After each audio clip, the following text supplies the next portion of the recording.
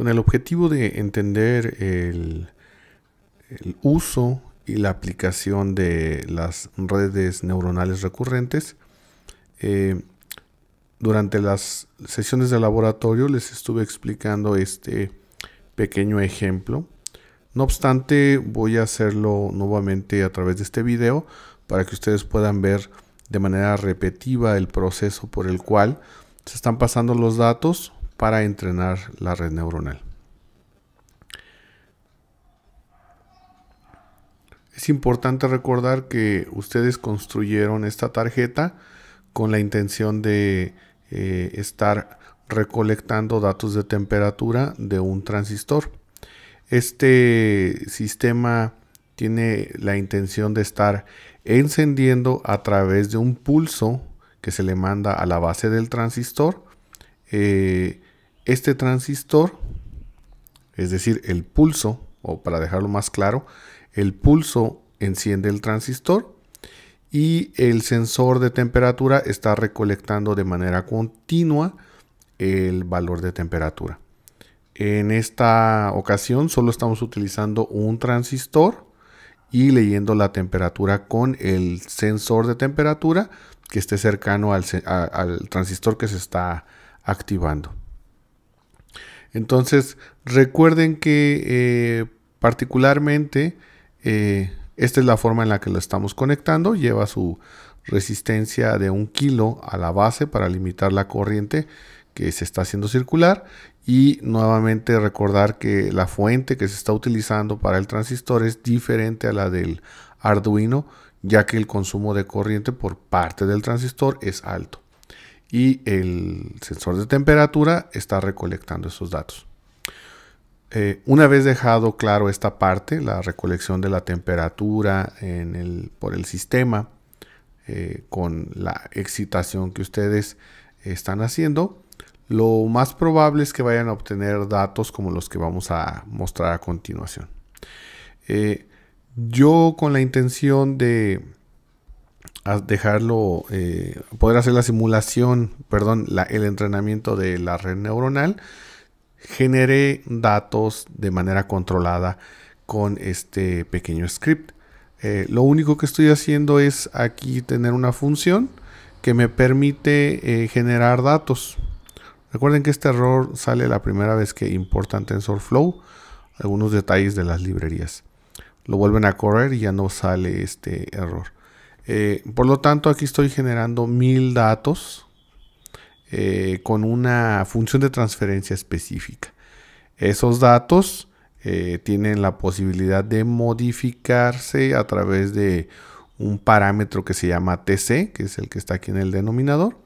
Y precisamente pasando este valor diferente puedo generar dos sets o conjuntos de datos, uno para entrenar y otro para hacer el test de la red neuronal.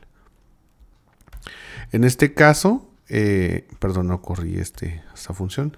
En este caso, eh, estamos graficando aquí mismo y XSIM, estamos considerándolo como los datos de entrenamiento y Exim 2 eh, va a ser eh, el conjunto de datos para probar. Una vez que tenemos eh, estos datos que están aquí de temperatura, es precisamente lo que queremos meter a nuestra red neuronal. Recuerden que es una red neuronal recurrente y por lo tanto el objetivo de estas redes es meter muchos datos de datos previos de nuestra salida para estimar el valor de salida siguiente. Entonces, en el caso de la red neuronal recurrente, eh, a diferencia de las redes neuronales eh, anteriores, eh, vamos a tener que las entradas cada uno de los parámetros de entrada o las instancias que vamos a meter van a ser instantes de temperatura previos. Es decir, eh, I1 puede ser la temperatura medida hace dos instantes de tiempo y 2 hace un instante y E y 3 el instante actual de temperatura. Y nuestra salida de la red neuronal va a ser una predicción de la temperatura en el próximo eh, futuro T 1. Por lo tanto, la estructura, la arquitectura de la red neuronal va a depender de cuántos datos vamos a tomar previamente para predecir o estimar el valor futuro. A este tipo de problemas se les denomina series de tiempo y eh, lo platicábamos y hacíamos la, analogía con la predicción de la bolsa de valores o el clima eh, a través del forecasting. Entonces, la preparación de nuestra red neuronal requiere de un algoritmo pequeño que nos permita reestructurar los datos que vamos a meter a la red neuronal. Eh, en este caso, precisamente consideremos que los valores de temperatura van de 0 a 1, eh, bueno, en estos datos simulados que tenemos. Y esta función lo que hace es algo que se denomina como shifting, como hacer corrimiento de los datos. Este caso particular, eh, yo estoy diciendo que voy a meter, que requiero hacer un shifting de 10 datos. Por lo tanto, la capa de entrada de la red neuronal va a tener 10 eh, nodos. Y lo que hace es precisamente lo siguiente. Por lo tanto, genero el conjunto de datos de entrenamiento, el conjunto de datos de, del test. Y eh, particularmente vamos a estar pasando los eh, datos de temperatura recorridos y para y como targets en el caso de Y vamos a poner el valor futuro de las mediciones que tomamos para que los pesos se empiecen a ajustar. Entonces aquí paso los datos de la variable xsim y xsim2 y cuántos datos va a hacer el shifting. Entonces corremos este punto eh, voy a imprimir aquí solamente las primeras 20 filas y las 4 y las 5 columnas, perdón, las 4 columnas para que puedan visualizar el shifting. Eh, si ustedes pueden ver aquí, el primer dato es 0, el segundo es .029 y en la siguiente columna el primer dato es .029. Después en la primera columna, columna .057 dato que se repite aquí, que se repite aquí, y precisamente este es el corrimiento del cual estamos hablando. Consideren que aquí hay muchos más datos en todas las filas y las 10 columnas que estamos creando. Solo que para cuestiones de poderlos visualizar de manera adecuada aquí, eh, solamente estoy desplegando algunos de estos datos. Por lo tanto, eh, si ustedes pueden ver, em, precisamente el target que vamos a tener acá, en la última columna, es lo que vamos a estar metiendo eh, en nuestro eh, training. Voy a imprimir precisamente esa, la del training. Solamente las primeras 10, 20 filas Ustedes pueden ver que este valor de punto 2335 debe de ser el noveno de acá. Ahí está. Después sigue el 2559 y precisamente se meten todos estos datos de aquí acá. Consideren solamente esta columna. Y el que va a predecir es este dato, el décimo dato. Y pasa lo mismo para los otros conjuntos de, datos que estamos preparando.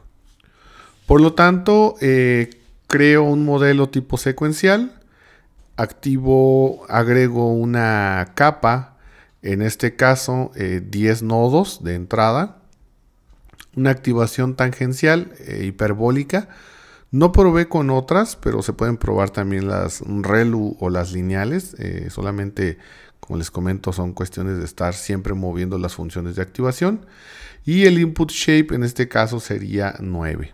Eh, después de la primera capa, que sería la de la entrada a la capa oculta, La última capa sería, la capa de salida tendría solamente un nodo porque queremos predecir el valor futuro de temperatura. Utilizamos en este caso el optimizador Adam. Recuerden que este es el estocástico por gradiente. No, perdón, el, es el gradiente por descenso. El learning rate es de 0.01.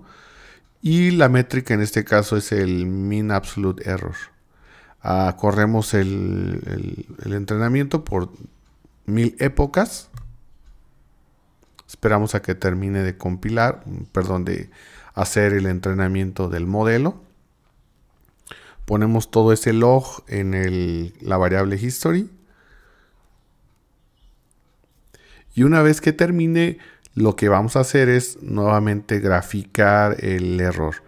Eh, aquí estoy graficando yo el error con con los límites en Y desde menos 0.05 hasta 0.05 porque pues debido a que los datos de entrenamiento son extremadamente eh, controlados, es decir, no tienen ruido, variación, etcétera, el, error se reduce rápidamente.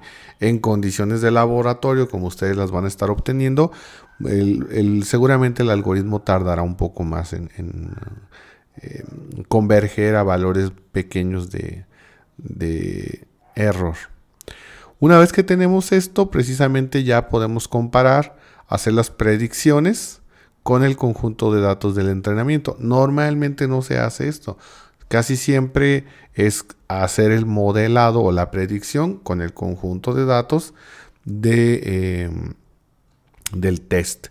Recuerden que estos valores de test también se pasaron ya por el shifting y ya tenemos un vector que va a permitirnos meter esos 10 conjuntos de datos cada vez que, que querramos predecir el próximo valor futuro de la temperatura. Pero bueno, este es el entrenamiento. Lo único que quiero que vean es que efectivamente la predicción es exactamente la del entrenamiento. Claro, tiene sus pequeños errores, como lo dejó ver en la predicción. Pero en este sí ya utilizamos como datos de entrada eh, los datos del test. Y por lo tanto el comportamiento debe de ser diferente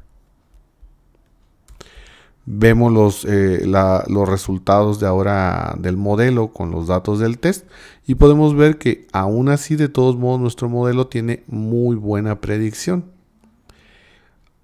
Por lo tanto, eso es lo que ustedes tienen que hacer. Recolectar primero datos para el entrenamiento, comparar que su modelo pueda predecir las temperaturas con el conjunto de datos del entrenamiento, que es lo más lógico que pase, y después meter un conjunto de datos diferente para que pueda predecir las temperaturas futuras. Ah, la recomendación ahí es para poder tener eh, un conjunto de datos un poco diferente. Como ustedes pueden ver, este es más lento el calentamiento.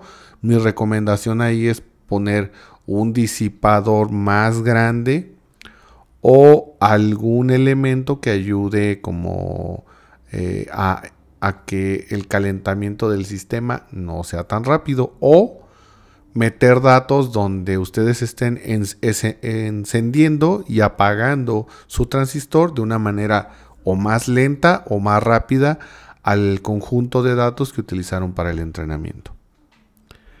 Bueno, eso sería todo para dejar más eh, mejor explicado lo que van a hacer en este último proyecto.